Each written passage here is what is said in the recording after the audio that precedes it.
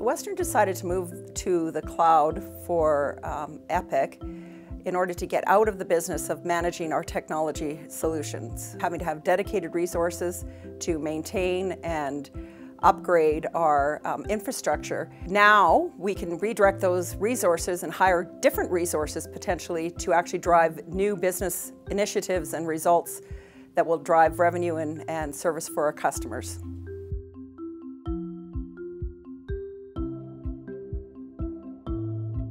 Western made the decision to move to Epic as a whole. We were actually running our business on six different TAM data sets with no ability for our customers to be serviced in any location. Now, uh, we can be, a customer can call into one of our branches in southern Alberta and add a car to their policy when they actually might live in northern Alberta, for example. It's, it's a great functionality and visibility across our business.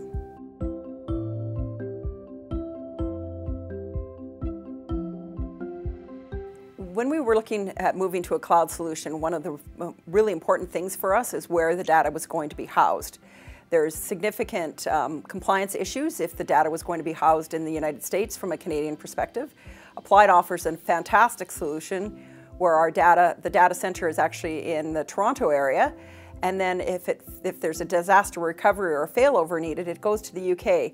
And from a, from a Canadian Commonwealth country, a legality perspective, that's the perfect solution for an organization like ours.